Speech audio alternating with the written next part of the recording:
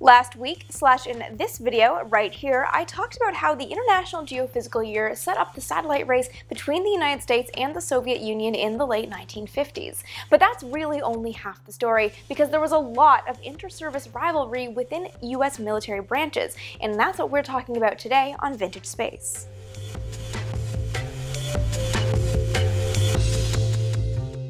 When the United States announced its intention to launch a satellite as part of the IGY in July of 1955, perhaps there was no one quite as excited in the country as Wernher von Braun. He was then working for the US Army developing the Redstone missile, and he had a satellite program already in the works. In fact, he'd presented it to the Assistant Secretary of Defense six months earlier. It was called Project Orbiter, and it was a very simple satellite program designed to use a Redstone rocket as the first stage and clusters of smaller Loki solid fuel rockets as the three upper stages to launch a modest satellite into orbit. However, Von Braun slash the Army's Project Orbiter was not the only satellite program in the country. Both the US Navy and the US Air Force had their own satellite program proposals. Deciding on which satellite proposal and, more importantly, which military service would launch America's first satellite fell to Don Quarles.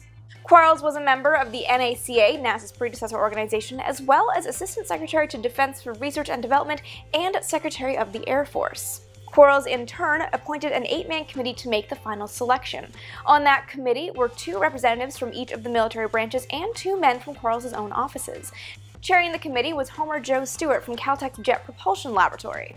The so-called Stewart Committee weighed all the options. The US Air Force's programs weren't looked upon too favorably because the Convair-built missiles that served as the core stage to the launch vehicles were offensive weapons designed as missiles. Not to mention the Air Force had a lot of other reconnaissance programs going on at the time. The US Army's Project Orbiter program had one of the same shortcomings. The missile, the Redstone missile that served as the core stage for the launch system, was also an offensive missile. It was also slightly tarnished by von Braun's Nazi record. The Navy's Vanguard, on the other hand, was centered around the Viking missile, which was an all-American built sounding rocket. It had no military connections at all, except for the fact that it was used by the US Navy. But the downside of the proposal was that the rocket didn't actually exist in hardware, it only existed on paper at the time. Taking all this into consideration, the Stewart Committee put it to a vote. There were three votes in favor of Vanguard, two in favor of Orbiter, and two men said they just didn't know enough about rocketry to make a firm decision, and so they sided with the majority. Vanguard won. And when von Braun found out, he was not happy, especially when he learned that one man from the committee had been out sick that day and he'd favored Orbiter. Von Braun couldn't help wonder if whether or not that man had been in the voting, he could have swayed the two undecideds in favor of the Army's proposal. Von Braun tried to change the Stewart Committee's mind but ultimately couldn't do it, but he did have Stewart on his side. Stewart and Von Braun, along with Army Ordnance, decided to sneakily retain Project Orbiter under the guise of a composite re-entry test. They first revised Project Orbiter and then set five rockets aside and earmarked them as testbeds for re-entry materials. Among them were Redstone's RS-27 and RS-29. RS-27 launched on September 20th of 1956 with an inactive fourth stage, but had that fourth stage been active, it would have been able to put a small satellite into orbit. The day after Sputnik went into orbit, von Braun was given clearance to take RS-29 out of storage and start preparing it for a satellite launch. On January 31st of 1958, it sent the Explorer 1 satellite into orbit.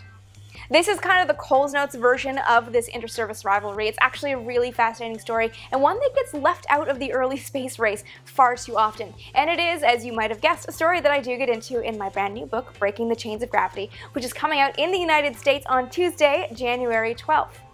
So what do you guys think? How did inter-service rivalry affect America's ability to get a satellite into orbit as part of the IGY? This is another one of those big, kind of alternative history questions, but it's still kind of a fun one to think about. Be sure to follow me on Twitter as AST Vintage Space for daily vintage space type content, and with a new video going up every week, subscribe right here so you never miss an episode.